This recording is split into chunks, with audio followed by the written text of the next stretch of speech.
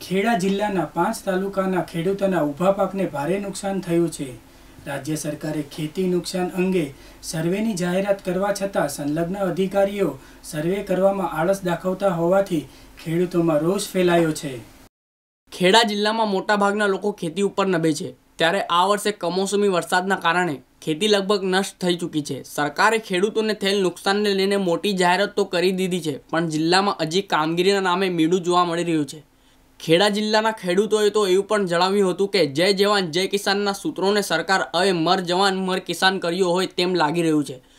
સરહદ ઉપર જેમ જવાનો શહીદ થાય છે, તેમ હવે ખેતરમાં ખેડૂતોને દવા પી આપઘાત કરવાનો વારો આવી ગયો છે. કૃષિ વિભાગના મુખ્ય અધિક સચિવ પૂનમચંદ પરમારે જણાવ્યું હતું કે, રાજ્યના એકસો છપ્પન તાલુકામાં કમોસમી વરસાદની અસર થઈ છે. એક ઇંચથી વધારે વરસાદ થયેલ અઢાર જિલ્લાના ચુમ્માલીસ તાલુકાઓ છે, જેમાં કમોસમી વરસાદ ખાબક્યો છે. ત્યારે રાજ્ય સરકાર અપીલ કરે છે કે વીમા કંપનીના ટોલ ફ્રી નંબર ઉપર ખેડૂતો ફરિયાદ નોંધાવી શકે છે. ખેતીવાડી ખાતાના અધિકારીઓ સ્થળ પર જઈને નુકસાનના સર્વે કરશે. સરકારે જાહેરાત કરી દીધી હોવા છતાં જિલ્લામાં સર્વે થતાં વીમાની રકમની ચૂકવણીની કામગીરી નહીં થવા જગતનો તાત રોષે ભરાયો છે.